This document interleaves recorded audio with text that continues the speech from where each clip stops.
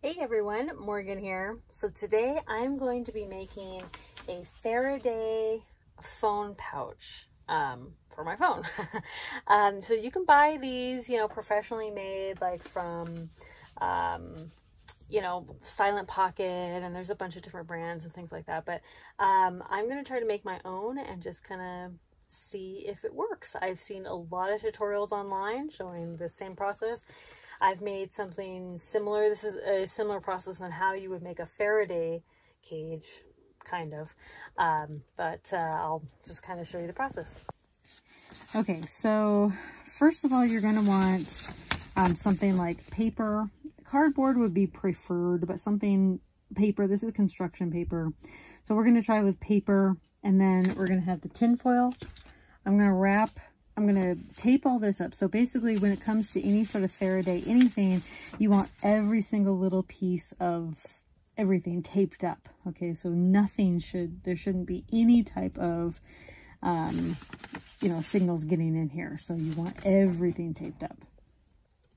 So I have two sheets of paper here, and then I'm basically just folding them over. Actually, fold this one over.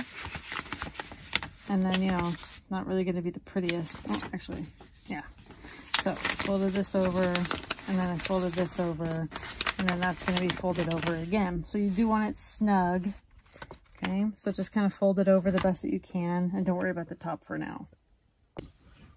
All right, once you've sealed everything, uh, you may have to come back and seal some more, you know, once you do your tests. But once you've sealed everything, I, I ran out of Gorilla tape, so I went over my existing Gorilla tape with the, the other tape. So once you have it all, you're basically, you know, you just really want to make sure everything is sealed, sealed, sealed. Everything is pressed down, you know, really, really tight. Okay, so now it's time for the aluminum foil. I'm going to wrap this three times with aluminum foil. And then I'm going to come back and I'm going to wrap the aluminum foil with more um, paper. So again, you know, you're sealing everything up again with the tape. Okay, so I have about three layers here. I'm gonna make sure the phone still fits. Looks good. All right, now it's time to wrap the paper around um, the aluminum foil and then tape that up.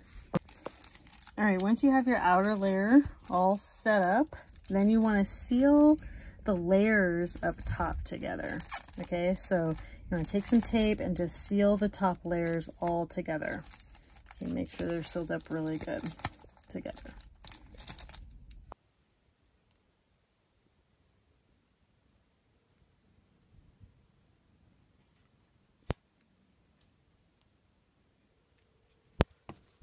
All right, so the phone call is being made to the cell phone inside. There's no vibration. Your call's been forwarded. so, you know, with with this or any type of Faraday cage, you have to make sure that there's absolutely no gaps, okay? There's no gaps in any of your layers. So what I did on the outside here is I actually wrapped the entire thing in tape just to make sure that everything is really secure. Plus, you know, you have to make sure that there's just no gaps in any of the layers that you make. In your first layer, in your foil layer, and of course in your last layer. You got to make sure there's no gaps. Okay, so really pay attention and make sure there's absolutely no gaps.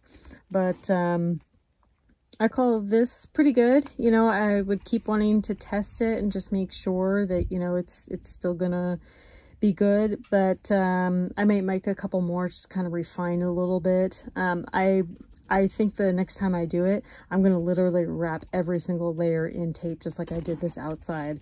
Just to make extra sure that, you know, I am securing those potential gaps. But, um, but yeah, so get this out of here. Now I know that there's a lot of debate when it comes to Faraday cages in general, right? And there's also a lot of debate about just, you know, whether they're going to even protect it, whether these homemade things will protect it, whether the things that you can buy will protect your stuff.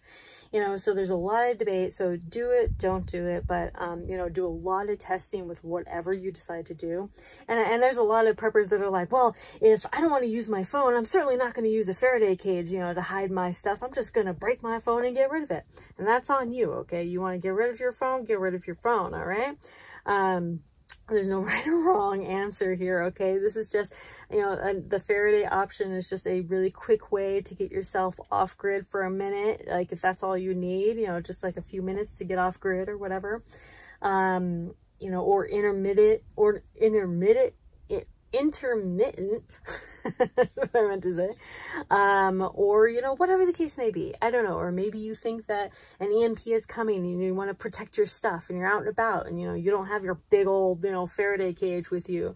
You just have this, right? This is a nice portable option for at least you know your device and and and your charging cables as well you'll want to throw those in there as well so anyway thank you all so much for watching take this information as you will. You know, there's lots of co companies down below to where you can actually buy your um, the Faraday bags. And I'm going to put a link down below to those people. I'm not sponsored or anything.